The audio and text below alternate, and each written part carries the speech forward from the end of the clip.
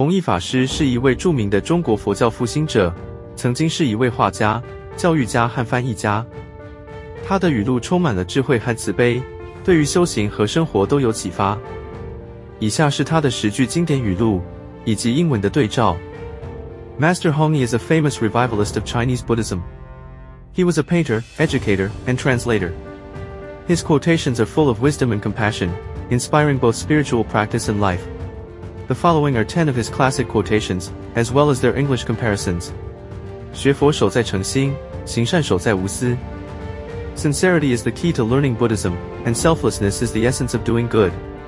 修行如逆水行舟，不进则退。Cultivation is like rowing upstream, not to advance is to drop back. 心若无求，便无所求。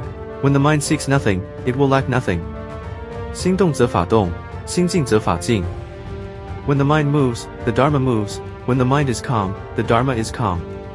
以心行爱，以爱行善。Practice love with your heart, and do good with love. 若要人悦，莫要人容；若要人容，莫要人悦。If you seek to please people, do not seek honor. If you seek honor, do not seek to please people. 求真善美，修身养性。Seek truth, goodness, and beauty.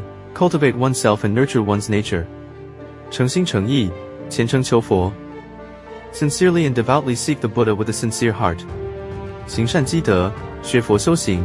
Accumulate virtues by doing good deeds and cultivate Buddhism through learning and practice. 善念不断，福报无穷。With continuous good thoughts, there will be boundless blessings. 以上是弘一法师的十句经典语录。多谢收看。The above are 10 classic quotes from Master Hongyi. Thanks for watching.